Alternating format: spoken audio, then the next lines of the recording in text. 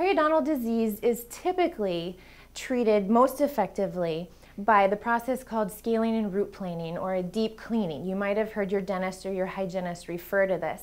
What this is, is it's a deeper cleaning than what you might have previously received at the dental office. Usually an anesthesia is involved so you're nice and numb. And then your dentist or your periodontist or your hygienist will clean all the surfaces of your teeth, especially the root surface, because that's where the bacteria and the plaque and the buildup is likely to be. Once those surfaces have been nice and cleaned, then your body can heal and hopefully gain some reattachment of the gums back into the tooth.